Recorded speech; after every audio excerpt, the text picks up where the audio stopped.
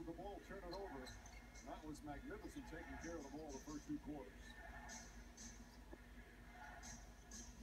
James throws it. J.R. Smith looking to post up Steph Curry. Well defended and stolen. Here's Klay Thompson, cross court to Durant. Fires a three. Got.